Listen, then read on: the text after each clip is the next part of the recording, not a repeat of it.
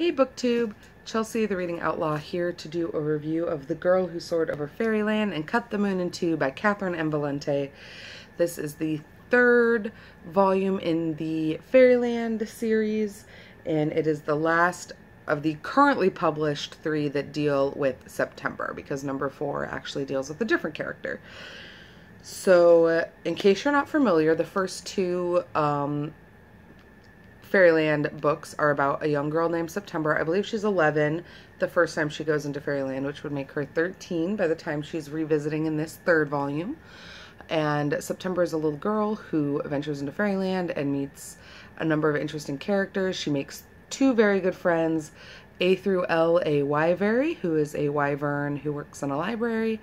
And so that's where that came from. And then Saturday, who is a Marid, who is kind of this um, spirit, like sea human creature who lives kind of throughout time. So he, at several points in several of the stories, meets different versions of himself. And in this third volume, I don't want to say too much because I don't want to spoil anything, but September is back in Fairyland. This time she is back with her friends. Um, and they're having an adventure on the moon, the moon of Fairyland. And so, in the course of that, she again meets even more interesting people um, has even more interesting adventures and learns some really important lessons about what it means to be a girl growing up. Um, so without spoiling too much, I will say that I think my favorite bits of this particular volume were the fact that we are actually back with the proper friends um, that September has. In the second book, The Girl Who Fell Beneath Fairyland and Led the Revels There, we are actually with everybody's shadow because in that book, September goes underneath Fairyland. She goes to Fairyland beneath um, to find out where all the magic in Fairyland is going because the magic in Fairyland is being stolen. And underneath Fairyland, we actually don't meet any of the humans necessarily or any of the people. We meet their shadows because that's where shadows go. And so, you know, and of course, as our shadows, they're the shadows of the people are not the people themselves. So they act differently, they behave differently um, in general and towards September. And so this is the first one. Since the first one, we're actually back with the proper characters in and of themselves. Here's A through L up top, the Wyverary. As you can see, he's an adorable red wyvern. And so we just, we finally are back with them. And of course, they have all grown and changed accordingly. Time does not pass the same in Fairyland than it does for September. So we always have to play a little bit of catch up when we first meet back up with everybody.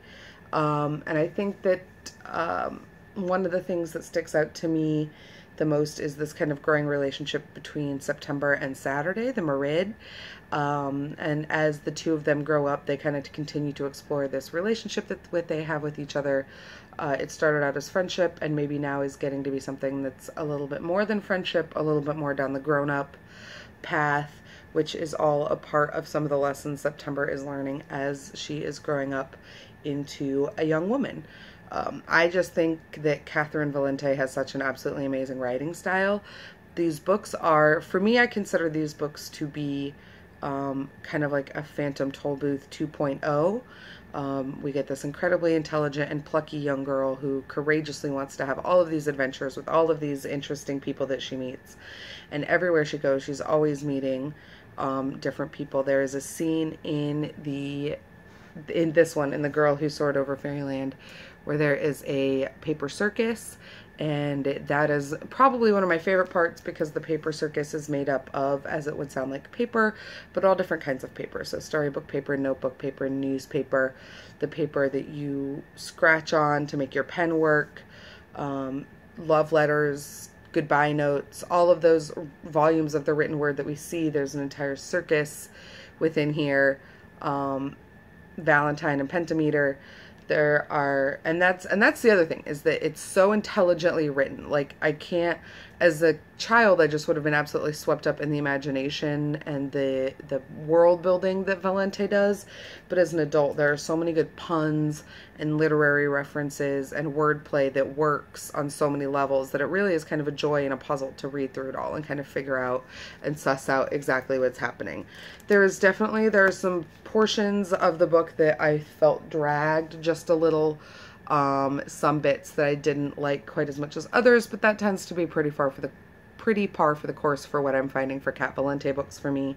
But on the whole, it was definitely, it's a five-star read. This is back to being, this is probably one of my favorite books in the series, this one and the first one. The second one's okay, and I'm working on the fourth one now. But yes, if you are ever looking for a wonderful, feel-good, nostalgic romp back to the kinds of things you loved about books when you were a child, I could not more highly recommend the Fairyland books. This is the third one, The Girl Who Soared Over Fairyland and Cut the Moon in Two. If you've read it, please let me know down below what you thought. As always, you can like, subscribe, and I will see you around the internet. Bye, guys.